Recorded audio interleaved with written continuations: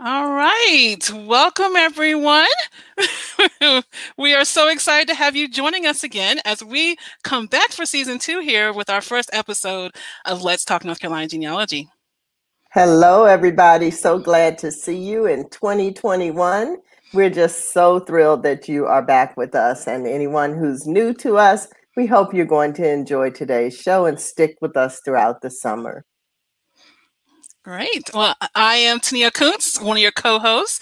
And uh, let's see, if you haven't been with us before, I am in Nashville, Tennessee. I have been researching my own North Carolina roots for about 16 years now. It's hard to believe time has gone so quickly, but I've had a blast in the process and really have learned a lot. And even doing these shows has been so educational. and I'm Renata Yarborough Sanders. I'm here in Newport News, Virginia. Um, all of my ancestry on every line hails from somewhere in North Carolina. And um, I have been researching my personal family history since 1997. That's kind of my official year. I started asking questions in 1993, but I really dug in in 1997. So that's when I say I started. And I'm just so glad to be here with you again for our season two of Let's Talk North Carolina Genealogy. That's right. So, do we want to perhaps give an overview of how season two is going to be run? Let's do it. All right. So, you are obviously here watching us live for our first live show this season, and we'll be introducing our speaker pretty soon here. But we're going to have three live shows over the course of the season on different topics related to North Carolina. And then, in addition to the live shows, what else are we doing, Renata? So we will be doing just the one live show each month this summer. And then we will follow that up with continuing with our research chats that everybody seemed to enjoy so much. So we didn't want to stop those. So we will do a live show on the first well, it's actually not going to end up being the first Sunday of each month because of holidays, but we will do a live show early in the month and then we will follow that up two weeks later with our research chats, just as we've been doing uh, throughout the winter months, but with a little twist this time because we're going to ask that you share during the research chats something about how you have used what you learned during the live show for that month. So we're just adding that little tidbit in to the chats. Great. So let's see, we have our speaker, David, with us today. Hi, David. David. Hello. this is David McCorkle. And David, if you just want to say a quick hello, and then I'll formally introduce you right before you speak. Hello. David, where are you? Tell us where you are and a little I'm bit about Cary, I'm in Cary, North Carolina, which is just right outside of Raleigh, state capital. Mm-hmm. Love Cary. Yeah. So Tania is going to just do a little mini presentation, if you will, and then we will get right to our speaker. And I just, you know, I see so many of our friends, Tania. I don't oh, know yes. if I can name them all, but we'll try to get to you at different points during the show. But hello to Mary Inman, to Daphne, to uh, Oh Genealogy TV. There's Connie with us today. Mavis, who's always faithful, and Janice Gilliard. Who else do you see in there today? Oh my goodness, we've got um, Ashley with us. Kristen, welcome back, Kristen. Uh, Edvin Singh, he's a buddy of mine here in Nashville. Hi, Edward. Eureka, it's always a delight to have you with us. Callie, uh, Celestine, we are just so appreciative of y'all taking the time out today. now you know we cannot skip Ron Hayslip Hansberry, who's like our number one fan. So it's good to see Ron and Monique is here. Diana. I mean, we really these are it's so great because it's like family, you know. A yeah. lot of these people have been with us throughout the winter for the chats, and it's just been wonderful. I see Minnie Beckton and Mildred Lynn. She made it. She's the one that needed to know about the time, and so she made it here. And uh, if we haven't called your name, um, forgive us, but I see you and I appreciate you, and I'm so glad that you're all here with us today. So, Tania, Definitely. I'm going to turn it over to you right now to oh, do your great. little thing. Excellent. So, we are here to talk about land records. And admittedly, I do not know a lot about land records, nor have I spent a lot of time with them. So, I know we're all going to benefit from what you have to share, David. And so, here is what I wanted to share, though. So, I am going to, okay, here is a, let's see, I'm going to make this full screen. All right. So, my family roots, part of them go back to Edgecombe County, North Carolina. And this is a picture of my daughter when she was a few years younger. This is back in 2015 at the um, grave site of my ancestor, whose name was Rufus Tannehill McNair. Now, Rufus is buried in Washington County, which is just a couple of counties over from Edgecombe, but he lived his life mostly in Edgecombe County. So, this is one of the lines that I research quite a bit. So, let me fast forward my screen. Now, what do I know about Rufus? Well, I know that he was um, married to a woman named Mariah Wimberly. And Rufus and Mariah, I know their marriage because of an 1866 cohabitation record. And we covered those types of records in season one. So if you haven't seen our season one episodes, definitely go back and watch that and learn more about those. But this is one of the documents that I have that you know shows their union. 1866, Rufus and Mariah. Well, in 1870, we have Rufus and Mariah cohabitating together. And then I do know that Rufus's slave holder, holder was Dr. Augustus Harvey McNair. Oh, and I see one of the comments, we have someone whose husband is a McNair. We have to talk. so Augustus Harvey McNair was Rufus's slave holder. So I do know that from research. Now, when it comes to Mariah, I know from another cohabitation record that her parents were Alan Wimberly and Della Battle. And they were enslaved by Kemp Plummer Battle, who was at one point a president of UNC. And I, you know, I was really excited to begin to put together these details as I learn more about the family. Now, so at this point, I have several surnames that I'm looking at right in Edgecombe County. So Tannehill, McNair, Battle, and Wimberly. And let me just say that the Tannehill surname, my ancestor Rufus was Tannehill in 1866 and at some point switched to McNair. I know that Augustus Harvey McNair, the man I showed you his picture earlier, had a sister who married a Tannehill. And the Tannehill family was out of Virginia. So I don't think that the Tannehill was a North Carolina family because she married into a family in Virginia. So that left me really looking at McNair, Battle, in Wimberly. Well, I found a map of Edgecombe County from 1905 that shows some of the property of the families. And what I learned was that the Battles, the Wimberleys and the McNair are all very close to each other. And I will admit, before seeing this map, I never really thought about the land and how their, their property would have been structured or divided or even the proximity too much until I saw this map. So this was one of the early pieces that I had that started to get me thinking that I needed to know more about how you know land is distributed, how land records are created, how we use them, what we can learn from them.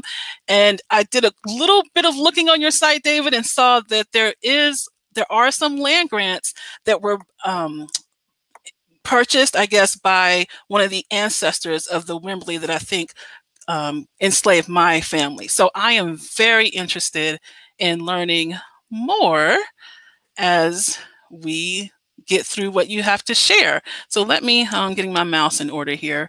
So let me remove that. Oh, we seem to have lost Renata. Oh no, hopefully Renata, you'll be able to come back.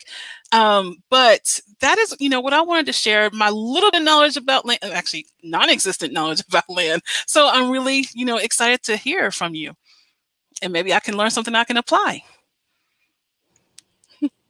okay. So we can go ahead and let me go ahead and say that we'll hear from you, David, as you share what you um, want to share. Hopefully that'll give us time to get Renata back in. And then for everyone watching, we'll do some Q&A. So David, please feel free to go ahead and share your screen and I can get it showing for everyone watching.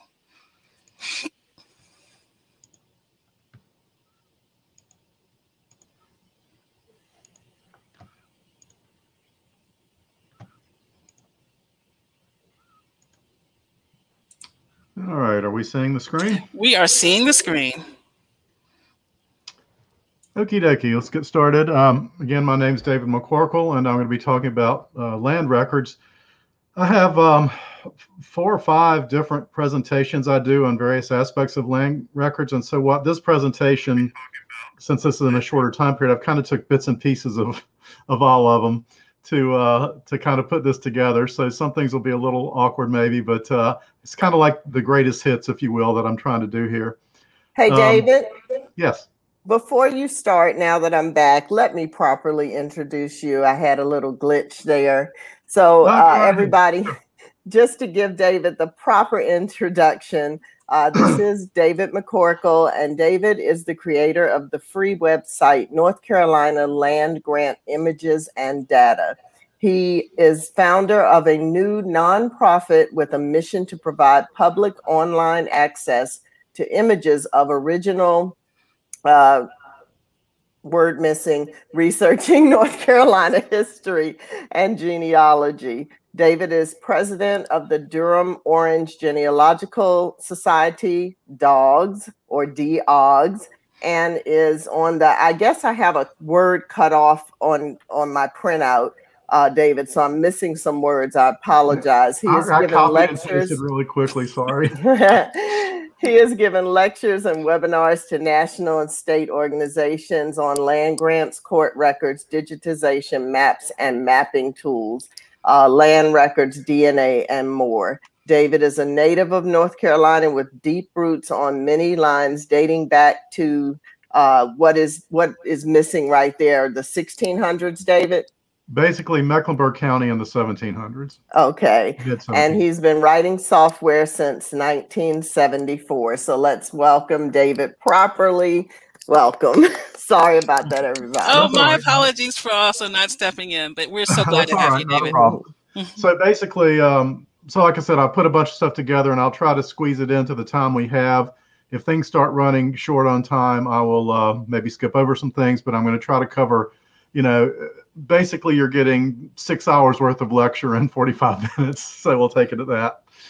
Um, so basically, first to define what we're talking about North Carolina when it comes to land records, um, we're talking obviously everything that's currently in modern day North Carolina, but Tennessee used to be part of North Carolina until the 1790s. So some of these land records are actually in what is now Tennessee. Um, also, the North Carolina South Carolina border changed several times uh, especially the area around Mecklenburg County, Union County, where you kind of see how it's squiggly up there. That that there was all sorts of controversies over that.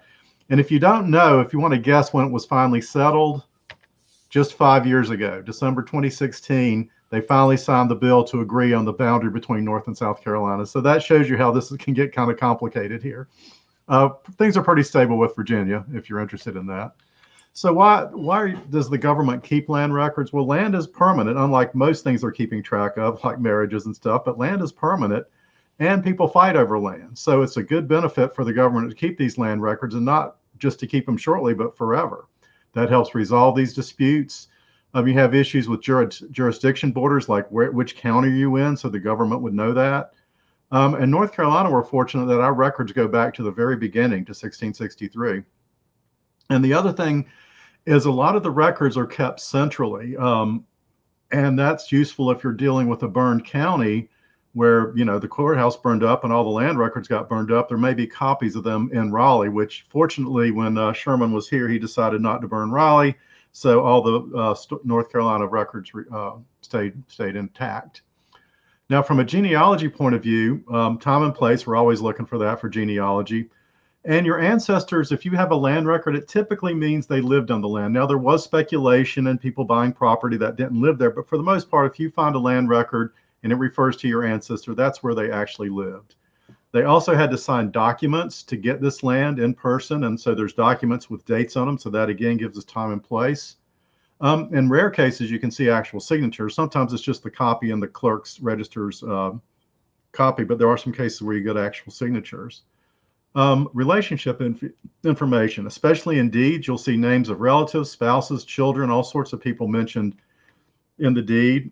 You can also infer, infer relationships via inheritance. Um, if you have a deed to a land and you're just giving it to your son, for example, you don't necessarily have to make a new deed. So um, you can actually see that, well, he owns the land, his father owns the land, it must be a father son relationship or evidence of, let's say. Um, specific location of the land, that's what was mentioned at the start, trying to figure out where these people lived. If you're familiar with the Elizabeth Shown Mills fan clubs, friends, associates, and neighbors, this is how you find the neighbors.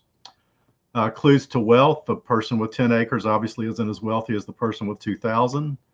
Um, occupations are listed. Again, you'll see these in deeds where it says, I'm selling this land to John who makes shoes or whatever. Um, and sometimes they'll even mention, I'm selling this land and moving to Alabama. So you'll see that kind of stuff in land records. Even evidence of name changes. We'll show an example of that later.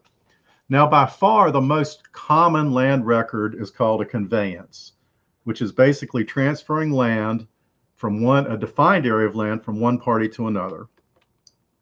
So you have the parties involved. They can be individuals, they can be organizations, they can be the government itself.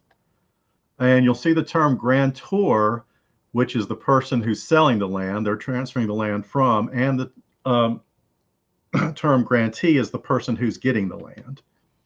You also see this word instrument, and that just basically means which document is used or which process is used to transfer the land.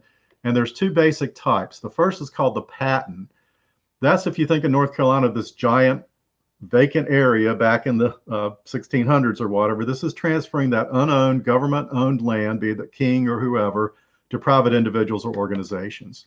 And these are what are known as land grants, the grant of a land patent.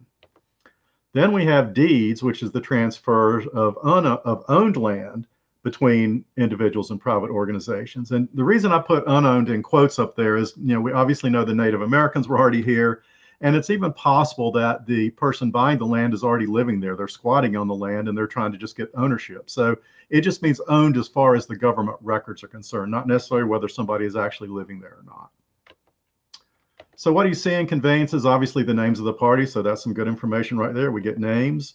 The land description will go into great detail on how to describe the land. Um, there's something called consideration as the price of the land. It could be money. It could just be, you know, Sometimes you'll see, uh, uh, you know, a dollar just because it's your kid or whatever.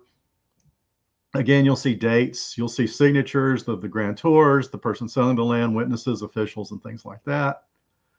Um, so let's start out with um, describing the land. So the way land works in the United States is there's really two main groups. There's the federal, federal public land states where land is distributed by the federal government and state land states where the, each state individually is distributing the land. So North Carolina and most of the 13 or the 13 original colonies and a few others are state land states. The federal land states have a very nice, neat, orderly way of distributing land. So if you've researched there, you say, oh, this is easy. Why is this hard? Well, let's talk about the state land states. We'll skip the federal, but state land like North Carolina gets pretty complicated. So what you have to do is you're interested in some land, you go out and find it first, then you survey it. So it's not like it's laid out in advance. You just say, hey, this looks good over here. Let's get a surveyor and go out and survey it.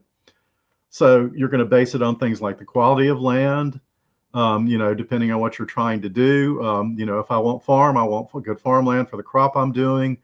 If I'm like running some kind of business, I might need, want to be near a creek. There's also natural barriers. Uh, you know, I don't want my land on both sides of the mountain, for example you know, somebody may already be there, so I don't want to encroach on their land. So there's a lot of things you would go into uh, defining it. You know, how much land do I want, etc. And I'm going to use a quick little example here of how land gets allocated in a state land state like North Carolina. And this will give you an example of why things are complicated. So here's a nice creek, and let's suppose I decide I want to get me some land and I want it on both sides of the creek, and it's a nice rectangle, so that looks all nice and easy. Then later on, somebody comes along and says, I like that area there. I don't want to live next to that guy. And plus, I just want my land on, on the west side of the creek. So he gets this land right here. Then somebody else comes along later and says, I like this area. I don't need to be near the creek. I don't want to be next to either of those guys. So I'm going to get this land. And notice it doesn't have to be a square or rectangle. It can be all sorts of wild shapes. Then somebody comes along and says, I want to look on, live on the creek. Oh, look, here's a little spot right here. And he just grabs this land right here. Then let's say property owner number one gets a bunch of money or gets established or whatever. He decides to buy all this land on the other side of the creek. So he lives there for a while and says, you know, this little border down here where it used to be number one, that really doesn't mean anything to me because it's all my property. So I'm going to consider all this my property. So now this is what it looks like. So the net result is you end up with something like this. This is a map of the original land grants in an area around Union Stanly County done by a, a distant cousin of mine, George Thomas. And you can see it's just basically a mess, a jigsaw puzzle. And the other thing to mention is the government, the state government, did not keep track of this. So when somebody went out and made a, a, land a land grant and got some of this land, they didn't go back to Raleigh and put it on a map. It just, you know, the surveyors just somehow figured it out. And um, the only reason maps like this exist is because of people like George, who have went back to the original records, followed the the lines and the boundaries and the borders and the creeks and all that, and put together this type of a map. So it's a fairly complicated process. And you're not going to find this for most of North Carolina. Some areas are. Wake County's done uh, pretty well. A couple other counties, because someone again has done that. But for the most part, you're not going to find these. So now we found a county. How are we going to find the property? And the first issue with the county, though, is counties change over time. Um, you've probably seen these maps. They split in two. You get new counties out of parts of existing counties. The borders changes. The names changes. Um, I'm using an extreme example of Greene County, North Carolina. So that area that's now green was originally in Craven County, and in 1746 it got split into Johnston County. Then in 1759 they split off Dobbs County from Johnston, which has that area that's now green. Then in uh, 1791 Dobbs split in two. They split it into Glasgow County, Glasgow County, and Lenoir, and they named changed the name. The reason they did that is Dobbs was a, a, colonial governor, and it's like we don't want to name that after him, so we're going to name it after two patriots, Glasgow and Lenoir. Well, Glasgow got involved in something called the Glasgow land fraud, and so they decided, well, he doesn't get a, a county anymore, so they named it after Nathaniel Greene. So basically, the net of this, if you're researching modern uh, land that's in modern day Greene County, you could be looking in Greene, Glasgow, Dobbs, Johnston, or Craven County for those land records. And if you're new at this, you may not even know that Glasgow or Dobbs County ever existed because they're not modern day counties. So you can see how this gets complicated. And then within the county, excuse me, the reason this is important is you need to know the county because the documents were not altered. So if something was originally in this county and it suddenly became a different county, they didn't go back and change all the deeds. And likewise, they didn't move the records. It would just been way too complicated to do that. So the courthouse they're in, they stayed at the original place. Um, so it's real important to know. And how do you find these? In one of my presentations, I give a demo on this, but basically, there's been some books, but these days there's websites. The one I really like is called the Newberry Atlas of Historical County Boundaries. You can see the link there. Um, or you can just Google, you know, Newberry Atlas Historical County, and it will actually show you the old boundaries on a modern day map. So you can say, show me the boundaries of this county in 1742, and it'll place it right on the map, and you can see your street. I use an example. For example, the uh, the old boundary between Johnston and Orange County went right through the middle of my neighborhood. I'm in Wake County now, but it used to be John, Johnston or Orange, and I used to live in Orange County, you know, or at least my land was. So it's it's very interesting uh, stuff to look at, and it's not just for North Carolina; it's for the whole for the whole country because this happened not just in North Carolina but everywhere. Okay, so now we've got a county. We know the borders based on the Atlas of Historical Boundaries or whatever technique we use to find which county we're in. And this is where it gets really vague. They often don't indicate the exact location. You'll typically see on the waters of 12 Mile Creek, and that doesn't mean it's actually in the creek or anything. It just means sort of the watershed or the drainage area. Sometimes it'll say it's next to somebody else's property, but then again, you have to find their property. They'll give a starting point, which also is going to be, you know, if you're lucky, it's going to be something like a junction of a creek that you could find today, assuming the creeks haven't been renamed, which happens. Uh, but oftentimes you'll you'll see a tree, a, starting at a white oak, and you know that white oak probably isn't there anymore. Uh, they talk about pile of rocks and all sorts of things of these starting points, but at some point you've got a starting point that you're going to have to find. Um, let me use an example though of how how this can get. This is uh, my um, fifth great grandfather, John McCorkle, who came, who got this grant in 1767. And it says he got 200 acres of land in Mecklenburg County on the east side of the Catawba River on the water of 12 Mile Creek on Liggett's Branch. So let's see if we can find that. So here's uh, Mecklenburg County today. And if we look at Mecklenburg County, we can see that the Catawba River forms the western border of Mecklenburg County.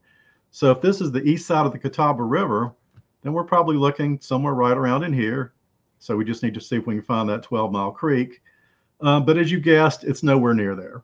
Um, that's what Mecklenburg County looked like in 1767. It went all the way out uh, to the west and then also into the east, including what is now Cabarrus County and Union County. And in fact, this land is in modern day Union County.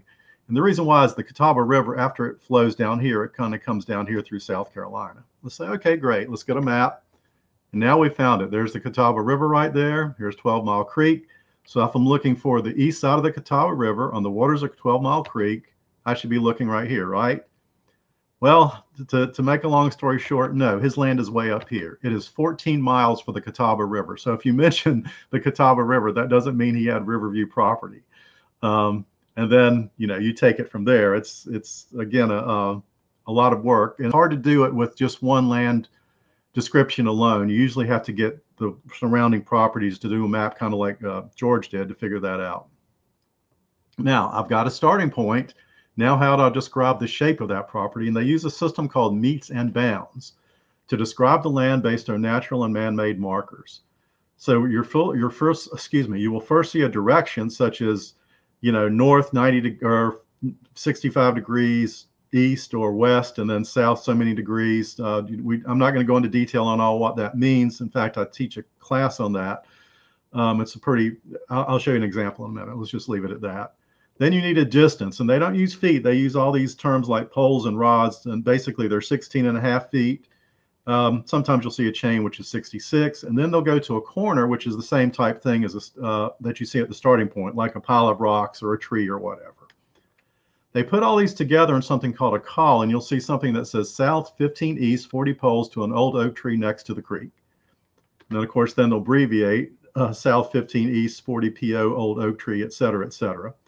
And I think the best way, just to sum this up, because again, I don't want to go into great detail on metes and bounds, is to um, show you an example. So just um, just follow my voice and see, and hopefully this will help you understand this. So we're going to start at a um, an elm tree on the waters of 12 Mile Creek. This is a land compass you can use for mapping. I guess it's, you know, the old compass would look similar to this. And we're going to go north 67 degrees east for 192 poles to a pile of rocks. Then we're going to put our compass down there and go south 10 degrees east for 96 poles to John McKnight's property line. Then we're going to follow his property line south 50 degrees west, 96 poles to an old oak tree. And then usually at this point, they'll say and thence to the beginning. So they'll draw a line back to where you started out from, and it comes to 100 acres. Now, I've yet to figure out how those surveyors could make it come out to exactly the right number of acres, but they had their little tools and tricks to figure that out. So basically, in other words, they take each line, each line of your property, and take it from there. Okay. Now, that wasn't always the case. Um, you notice as you drop through North Carolina and you get to a little town, all of a sudden everything's square. So you, towns were typically laid out. Um, this is Raleigh, uh, 1797. And you can see what they did is they laid it out and surveyed it and they had numbered lots. So then the deed would just say lot number 162. So you didn't have to go through these complicated descriptions. Um, and you can see exactly that without having to figure it all out. Okay. So what I'm going to start out with is the land grants because again, think of that as the first time this land was defined and ownership was uh, assigned to it. So this is sort of like the first record for this land. Nothing else would happen until somebody owns it. Um, there's this mystique about land grants. Um, and uh, one you hear is that there's no way my ancestor was important or rich enough to get a land grant. You know, you always hear about him in this lofty language. They even talked about him in the Outlander series and all that. Um, and then you have the reverse side. I talk to people who say they got a land grant from the King of England. So my ancestor must have been important or done something special to get a land grant from the king, right? And here's an example of a land grant. It says George II, by the grace of God, grants this land to Alexander Foreman. So here he's getting it from God and George II. So must, he must have been something special, right? Well, the reality is the king owned all the vacant land in North Carolina. So who else are you going to get it from? It comes from the king. It's just like I, I use the example of my daddy getting a, a signed letter from President Roosevelt saying he was drafted into World War II, right? Um, there were only like 20,000 of these grants from the king. But I mean, think about it. If the king only gave grants to his friends, 20,000 is quite a lot of friends to have. And um, the real key here is there's uh, 200,000 land grants, and the vast majority of them happened after independence. So the king wasn't even in the picture. So getting one from the king really um, does doesn't mean anything one way or the other. You didn't have to be special to do it, um, and so forth. So don't don't try to discount these land grants just because you don't think your ancestor would have had one. Um, there were some requirements. So before independence, the main requirement was to have a warm body. So basically, they had something called head rights. If you had a head, you had a right to so many acres of land. And it wasn't just your head, you could have your enslaved people's heads counted sometimes, your spouses, your children. It just, the rules varied over time. You could always buy stuff. That's always been true in commerce. Um, then you found the land. You had to ask for it, as I mentioned. You needed money. The reason why is they nickel and dimed you every step of the way. So just to apply to get a grant, you had to pay some money. They also had something called quit rents, which were annual payments that you had to pay to keep the land, kind of think of it like property tax. And then they even put obligations. And the reason why is, you know, England was a colonial power and they wanted, you know, people to come to the, to America and settle and exploit all the riches and send them back to the motherland. So they said, for example, you had to clean and clear and enclose three acres for every hundred. You had to build a house. You had to. This one was a short period of time. You had to have cattle for every 500 acres. I think Today, we'd say that was the cattle lobby behind that, right? Um, there was another option, and that was you could be buddies with the king. I didn't mean to imply that didn't happen. It did. There was a guy named Henry McCulloh who got 1.2 million acres of land, and there were other examples as well of people getting lots of land, uh, but they they were the buddies with the king. Wow. Um, after independence, North Carolina is now a state. You still had the same process. Find the land. You they nickel and dimed you. They got rid of all that head rights and stuff, but you did have to pay for the land. There were some exceptions: bounty land grants for military service, uh, especially in the Revolutionary War. Now, what happened is the bounty land was all in Tennessee. So, you know, if you live in Halifax County and you you were in the war, and they say, "Hey, here's this land in Tennessee," you're like, "I'm not going to go to Tennessee." So, a lot of times they would sell it to somebody else who then went to Tennessee. And there were a lot of actual fraud and scandals related to that. So let's quickly go through the land grant process. Excuse me. Um, it was multiple steps and you had documents at each step. And that's why it was really important. And it could also take many years to complete. So it kind of lets you do a timeline and things could cancel. So, for example, somebody could apply for a grant, never go through the process, and then leave the state, and you would still have a record that they were in the state, even though they never got the land. So the first step is the entry asking for the land. Um, they would just enter them in these entry books. So here's an example of an entry book from Mecklenburg County. You can see the different people applying for land. One being, guess who? George uh, John McCorkle. He wants 200 acres on 12 Mile Creek. And notice underneath him, there's John McNeely and Robert Rogers also wanting him. So if you're into the fan club uh, concept, that's possible they knew each other, you know, right? Uh, the entry was very, very basic. He says he enters 200 acres of land in Mecklenburg County between Jacob Sechrist's land and my own. There's no definition of the land. It's just like I've got some land, Jacob has some land, I want some of the stuff in between. It's that vague. When they um, accepted it, these had to sit kind of on public record. So someone would say, hey, that's already my land. I'm not sure how they would figure that out since the land description is so vague. They would issue a warrant, which I'll talk about shortly. But sometimes there was a, uh, a conflict and someone would issue a caveat saying, this is my land, he can't have it. And you have some nice records that show this list of caveats. Here's some for, um, um, uh, I forgot what the county is here, Pitt County. Um, so these are the these are all the conflicts and when they're going to get heard in court. So the warrant is really a kind of a boring document. It just basically repeats what's in the entry book. You do have some additional dates, so there's really not much to talk about it, but it's basically the order to the surveyor saying, this is all good. Please go out with the guy and find this land and do a, for, a formal survey, which is the detailed description of the land. This is the one for that uh, John McCorkle's land. And his survey is pretty boring. It's just the lines, and you can see there's no uh, geographical things mentioned. So just based on this shape, it would be pretty difficult to find this land. Um, there are the metes and bounds. Now, this is where the big description is. And you notice we have some more names mentioned here. There's Jacob Sechrist. He was the guy whose land we were getting in between. And now we have a third person, the widow Jackson. So now not only do I know he lives next door to the Jacksons, but she was a widow. And uh, depending on the presentation, I have a pretty long story I'll tell about this. But let me just suffice to say that the widow Jackson had a son that's on the $20 bill. Okay, so if you flip it over, always remember flip over these documents, even when they're on microfilm, you got to look at the back. you see John McNeely and Jacob Sechrist, CB. That stands for chain bearer, and sometimes you'll see CC chain carrier. And the surveyors, they didn't have a survey team. They just more or less went out by themselves, and they had those long chains to do the measurement, and they needed people to carry them. So they would enlist typically family members or the neighbors or whatever. So this is a great source of name. In fact, notice John McNeely is the guy that was in the entry book we looked at uh, a couple of frames ago. And Jacob Sechrist is the guy who has the other land. And obviously, he wants to make sure the surveyor is not doing anything funny. So uh, that's another good source for names. And I do have to show this one. This is an actual survey from a land grant. And I mean, they did nice artistic work with ducks and dogs and hunters and everything. And uh, it was for Elizabeth Glasgow, who was related to the Glasgow, uh, who was the Secretary of State. So obviously the surveyor was trying to like uh, help his cause or, you know, maybe get a promotion by drilling this really beautiful land grant for this woman. Um, the next step is they issue the patent. So everything's cool. They've got all the money, all the paperwork, and they assign a grant number and they record it in giant patent books. Um, here's that same John McCorkle in book 42, page 258. Um, they sent the grantee back a really pretty copy. This is one from 1783. Um, it's got the state seal down at the bottom. It actually has the original plat. So they get a really nice one. Um, I'd love to have John McCorkle's, but I'm sure it doesn't exist. But uh, you can find these at the archives and various other places. Um, then the last step is you were supposed to go register your grant in the county in the deed book. So you'll find land grants in deed books. So if we look at the timeline, we can see um, from the start to finish, it took about, you know, not too long, about a year and a half uh, for him to get this. But again, sometimes it's taken way longer. I want to quickly mention something called Granville grants. Um, what happened? Um, uh, yeah, these are slightly out of order, but basically, um, let me go ahead here.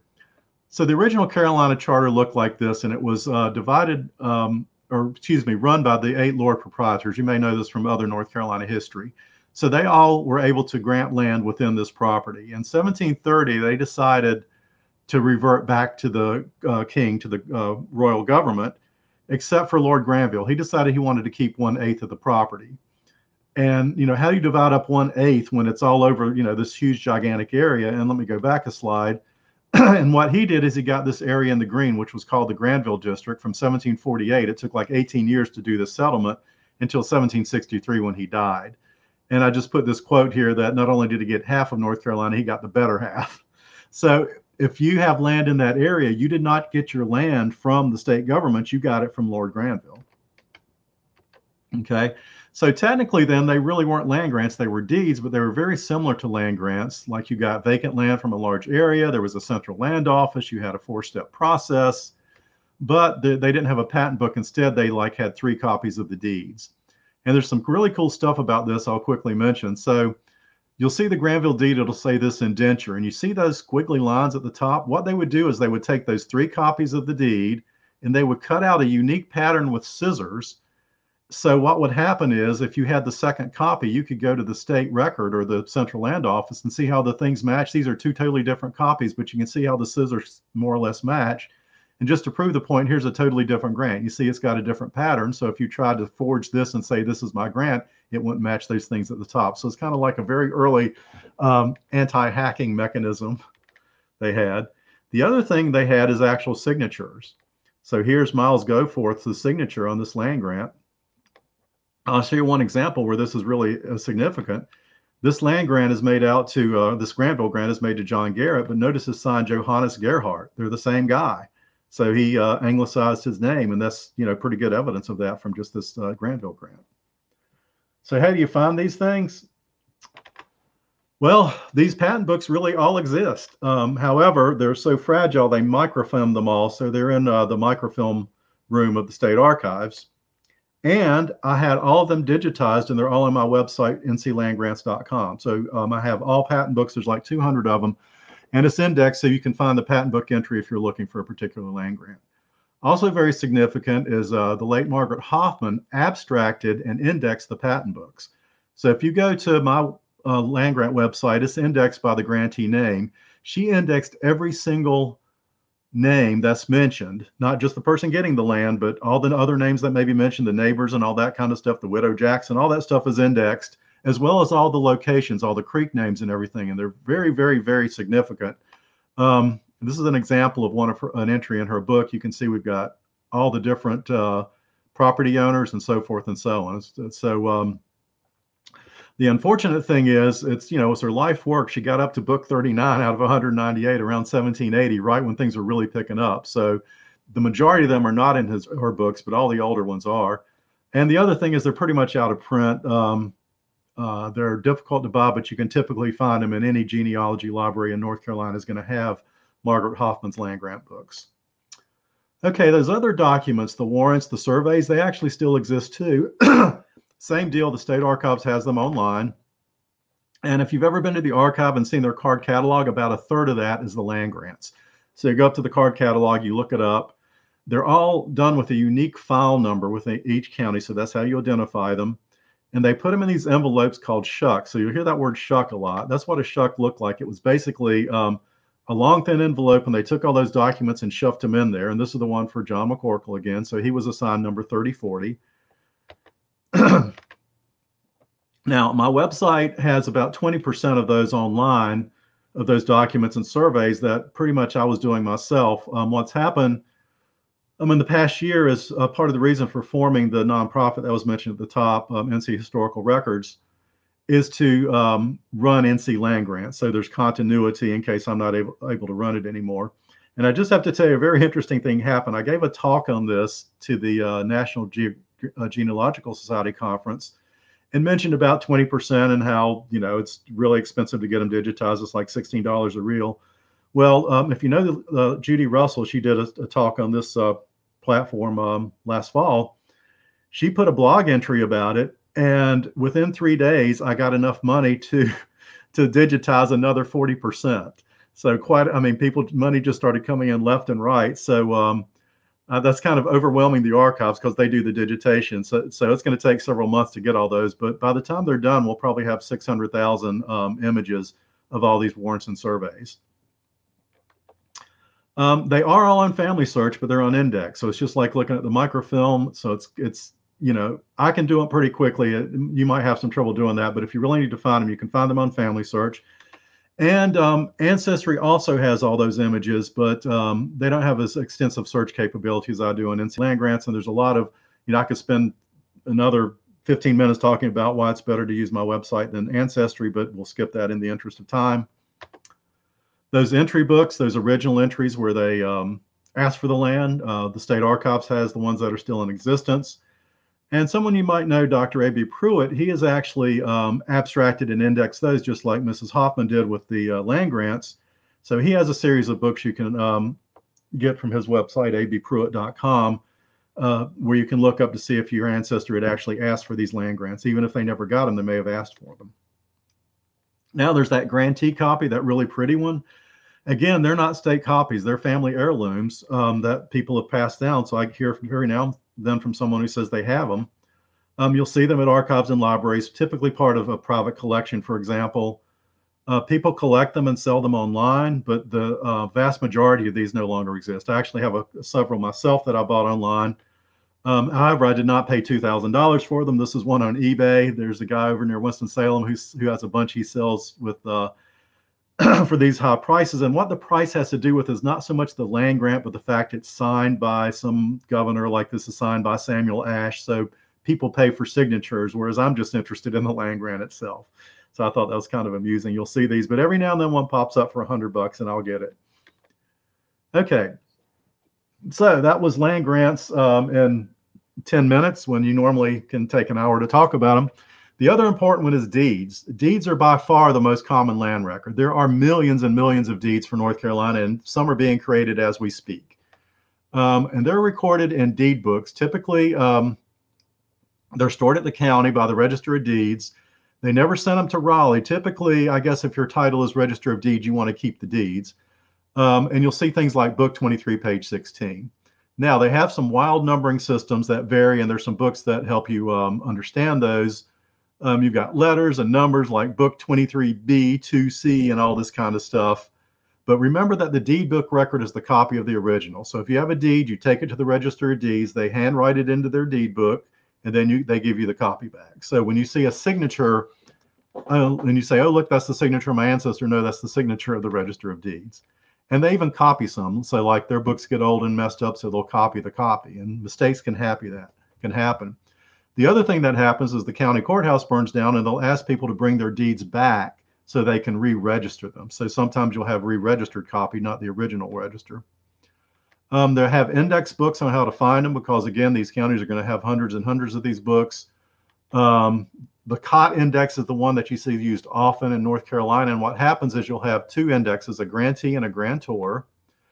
Um, sometimes there's multiple grantees or grantors, like the man and his, his spouse or whatever. They typically only index the first one. And again, is where I mentioned the, the register of deeds is where they're located. The county is important for the reasons we already mentioned. Now, the archives does have microfilm copies of most of the North Carolina deeds. In fact, if you visit the archives and go to the uh, microfilm room, that whole middle section is mostly deeds. Um, you also will find them on Family Search as well, but again, they're not going to be indexed. Now, the, what's happened recently, though, is um, counties have started putting their uh, deeds online. And a lot of counties, they're going to only go back to, you know, 1970 or something, but some of them actually do have historical records.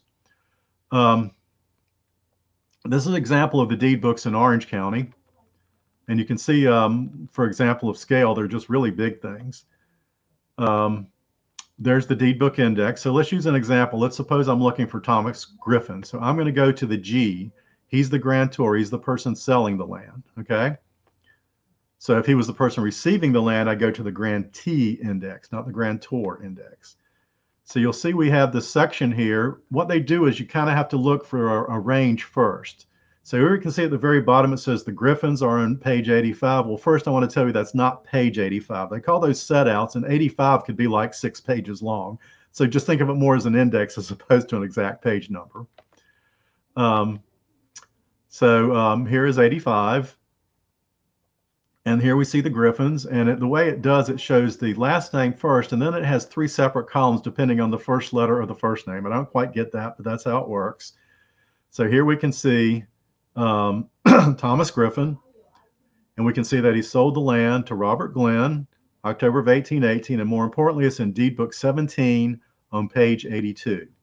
So here's Book 17, page 82. Now, strangely enough, it says Elizabeth McDaniel to Robert Glenn. So I'm a little confused here, right? And you can see at the very bottom, though, it's Elizabeth McDaniel, Thomas Griffin, and uh, John McDaniel. So there's actually three Gantors, but for whatever reason, they only indexed Thomas Griffin. or excuse me, they indexed all. And so in this particular case, because they indexed them all, I was able to find Thomas Griffin. Okay. Uh, it's probably like you know, obviously John and Elizabeth were probably uh, husband wife, and I'm not sure how Thomas fit into that. But you know, again, that gives you stuff to go researching. So the idea here is though you look these up with the index, which will take you to the giant book and into the book and page.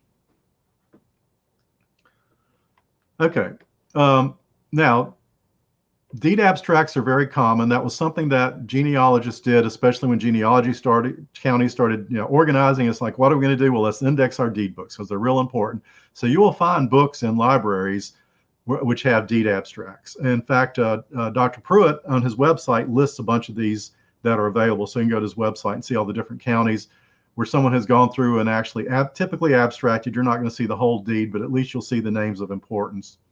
You'll also see them in um, Genealogy Society journals. So this is the one for the uh, Union County Society. You can see how they've been going through and um, indexing these uh, deeds and uh, putting abstracts of them. Um, but a lot of them are online, as I mentioned. Um, Family Search Ancestry. Um, if you go to the Roots uh, GenWeb, especially, you'll can see um, it'll say that the uh, go under land records. It'll tell you that there are books on this, or you can find them online or whatever. Uh, some people even have them on personal websites. Um, I'll go through this real quickly in the interest, interest of time because it's easy, but Wake County really has it down pat. You can look up by name. So I'm looking up the lanes. It'll take you right to the listing of them, and I can pull up the exact detailed lane uh, deed and see information like my beloved son James Lane. So there's some good stuff right there. So Wake is kind of like the top a lot of them you see are kind of in between. Like this is Mecklenburg County. If you go to the uh, online, you'll see something that looks like this, which looks really confusing, but it's really just this. They're saying this is the index book. So you actually have to go through a, a microfilm copy of the index book and then go to a microfilm copy of the deed book, but you'll get there. Okay, and again, uh, you know, let me know when I can stop because I'll just keep going through uh, to my hosts here. Now, there are mm-hmm. other all sorts of records related to land. In fact, there's a whole collection at the archives called Miscellaneous Land Records. The content's going to vary greatly by county, and a guy named Stuart Dunaway has filmed and published many of these in books. Um, so here's an example of Mecklenburg miscellaneous records. You see there's plats and surveys, processioning, agreement to rent, boundary disputes, all sorts of stuff in these miscellaneous records. That's just an example one of the folders, and you see it's just left, right, everything. just looking at the title, uh, Rhonda Wynn versus Benjamin Wynn, controversy over wife's property of prior marriage. Man, look at all that information just in a tag on a thing that she was previously married, etc. You also find these processioning records. Not too many of these, but some counties have quite a bit. And this was a process to validate the lines of a given area by walking the property lines. Some just repeat or, or the metes and bounds, but others have named names and places. I saw one where the guy doing the processioning said he went to this guy's house and ate dinner with him, and here's his wife and kids. I mean, it's all hit and miss. But uh, basically, um, here's an example of one. And this says uh, this is from 1764. They want to uh, procession all the land on Flat Branch Road and the county line along Bennett's Creek to the main road. So here you'll see all the names, who was present, you know, the parties present, et cetera. And I saw this was even interesting. Here's Elijah Sumner. It says he's underage. Not sure why he was there, but here's evidence right there of his age just from a processioning record. Um, here's David, one where somebody, yes. Excuse me, we'd like to stop at 255, so you have about three minutes. Three minutes. Oh, no. All right. So um, uh, this example just shows you that not only do you have time and place, it says it was the morning of the 18th of March. So now I have time, place, and time of day. So pretty important stuff. Now, a good portion of these are court records, and I'm just going to quickly shoot, just throw shoot, uh, go through the examples. Um, you have things called civil action papers, the pleas quarter sessions, estate records. So here's one where it says William Chavers, free Negro conveyed to Sarah Harris. So now you have a person of color and a woman mentioned in the same sentence. Um, this also mentions another enslaved boy. Um, this may be the only evidence of him.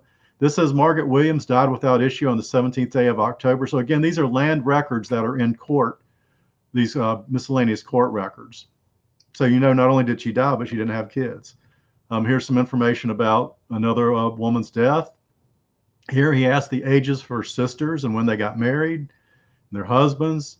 Here's mentions of age of underage girls. That's something you usually don't see. You know, not only they're women, but also you get their ages. You get petitions with all sorts of names. You see all those names listed on the right. Also, loose estates. This is um, Matthew McCorkle's estate. My fourth great grandfather, you can see how his land was divided up between his kids. And you see this area here where they're all small. That's because they used the per stirpes, where that meant the uh, his actual son died, so they divided it up between that guy's sons.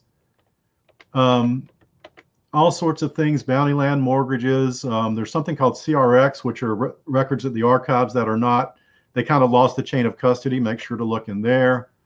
Here's some bounty land petitions where they mention exactly where this guy served in the War of 1812. A couple of others I'll mention uh, quickly tax records. Um, so here's Pasquotank tax records. You can see um, how many acres of land the person had. Um, and I'll mention this last one. This is called homestead exemption. If you for some reason for age or whatever you didn't want to have to pay property tax you could petition and to do that they said we'll list all your property. So this is kind of what you'll see in estates except the person was living. I always feel like with estate sales they've already gotten rid of some of the stuff in advance. You know we did that. Don't tell anybody. But uh, um, so this you know they have have what uh, this is what they had at the time when they were trying, applying for this exemption.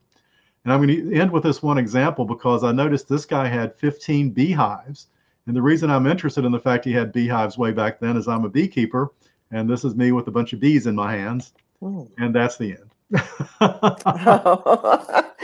oh. Man, we we did not want to have to cut you off, David. oh, that's fine. Like I said, I threw it together from bits and pieces of all sorts of other presentations, so I guess I hit it pretty close. I hit it pretty close.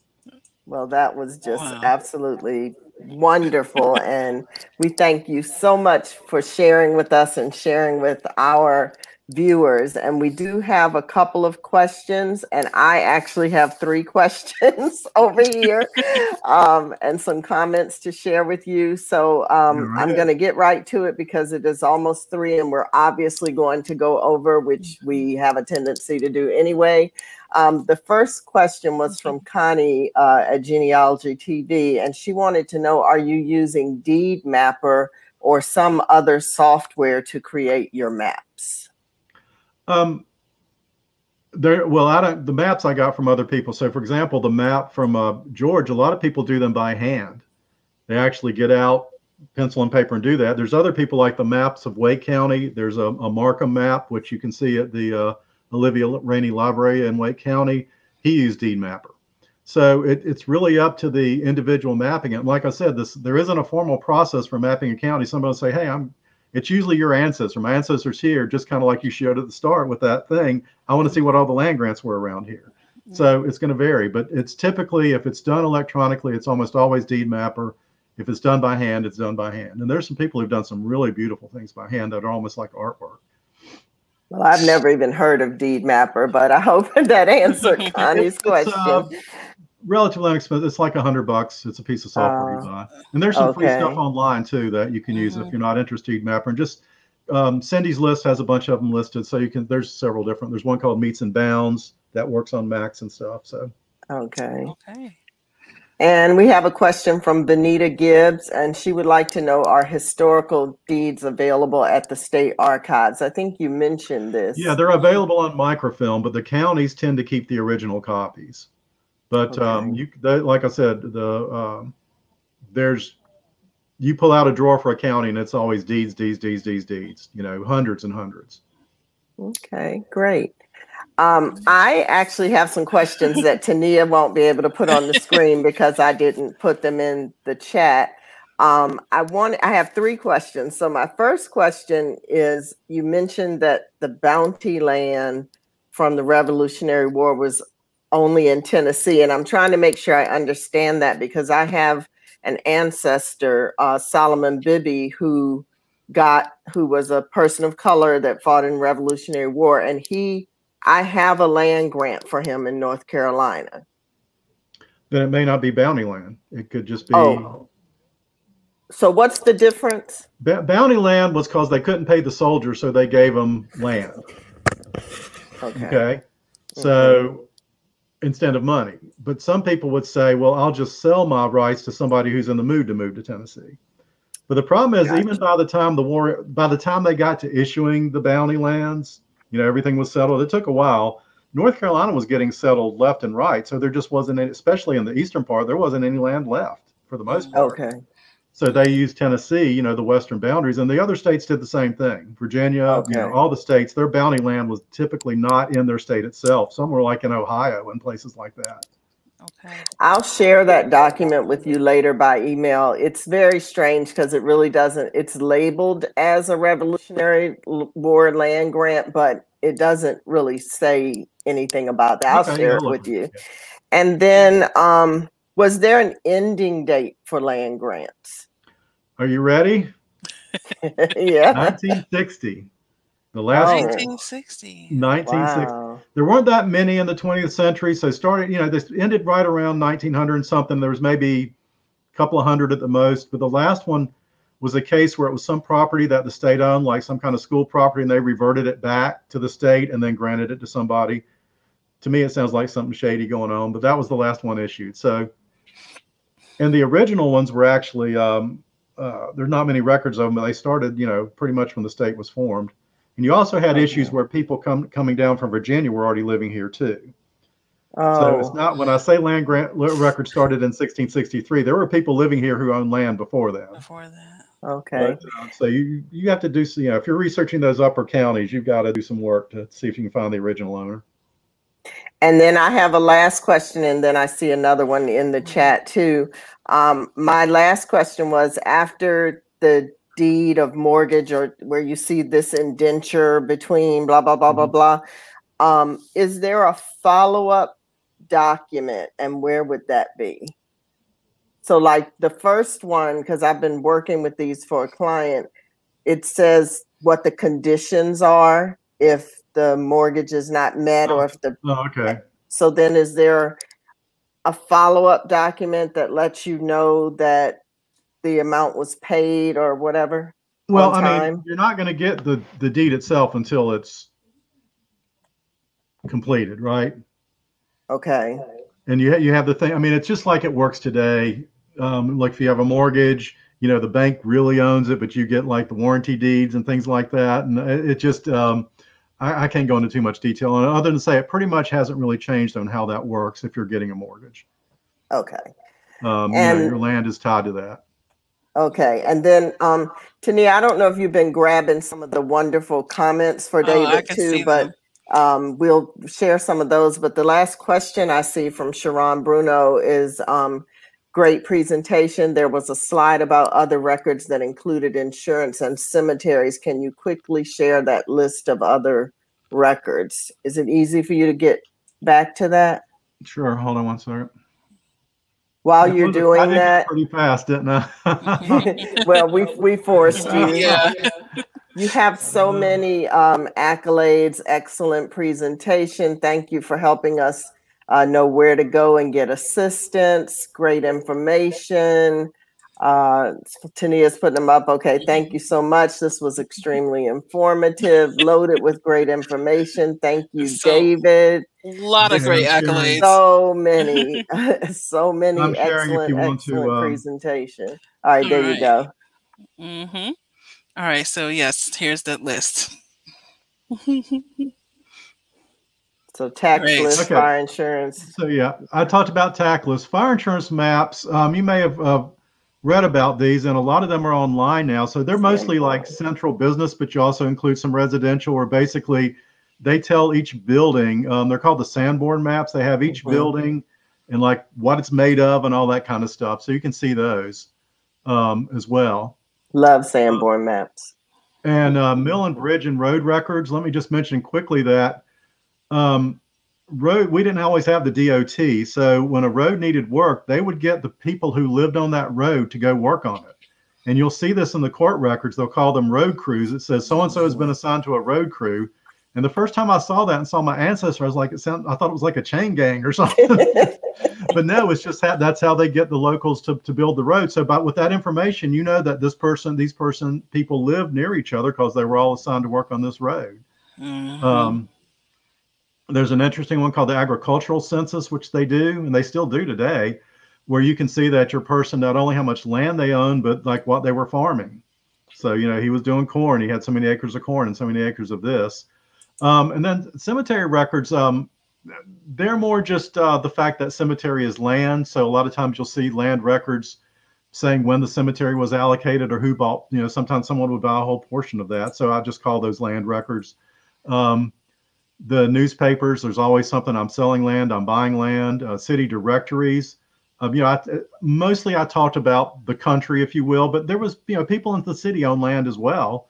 So you could go through these city directories, and some of them are in order of like just going down a street saying somebody lives here. Here's the next door person. Here's the next door person. Here's the next door person. So you can construct a city neighborhood based on these city directories. They didn't start till like the you know late 1800s, but uh, there are quite a lot of those online as well. So you know these are I call these land records, but they're not technically land records, but there's land information in them. Yes. Mhm. Great. Well, you've had so much information. Ron's asking, do you have any online classes?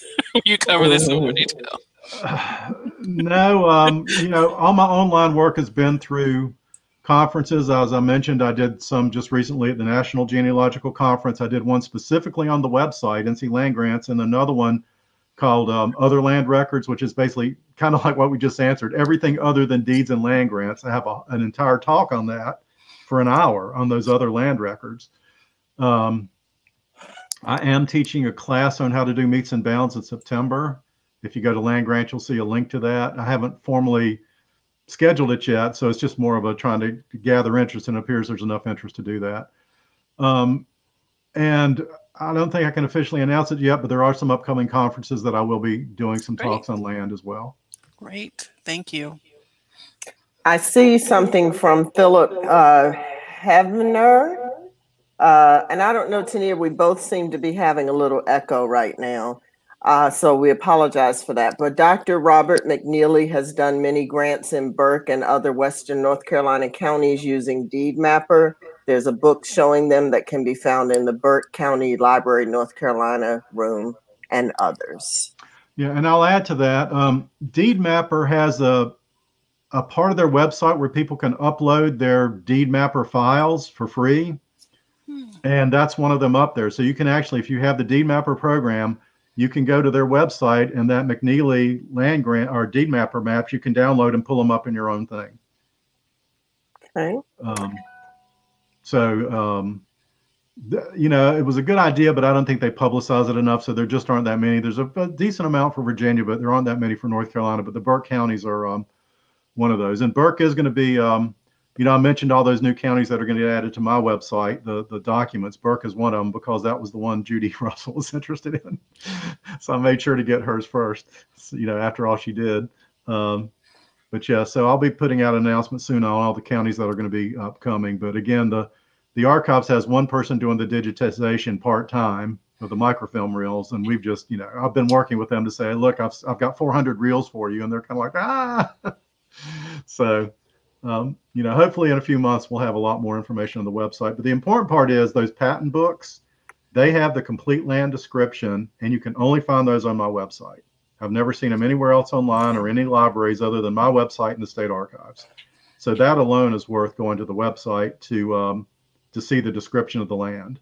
Mm-hmm. Um, okay. well, David, we thank you so very much. It's clear that everyone has learned a lot today, and we just want to remind everyone that you know, this is on our YouTube channel, and so you can go back and watch it again and again, or just rewatch the parts that you need a refresher on. And I know that, um, David, I'm probably going to be bugging you a little bit because I do have yeah. that client right now that I'm working on some land stuff, and this has been a great uh, help to me. So just thank you, kudos, thank you so much. Yeah, one, yes, one reason I, I like doing ones that are recorded is because that way I can talk faster and people can go play it back. Exactly. Absolutely. because yes. like I said, I'm trying to squeeze five hours into a short period of time. So I apologize for that, but at least you can go back and replay some things. We thank you very yes. much.